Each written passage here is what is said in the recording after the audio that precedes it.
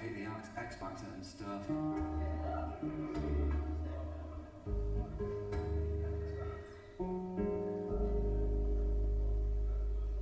And um, there's a bit that I'd really like you to sing with me.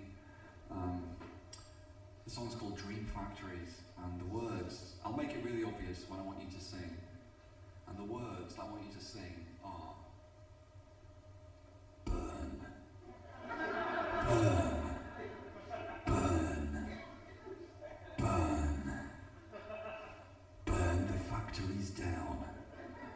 and um, you'll enjoy it, or feel anarchy.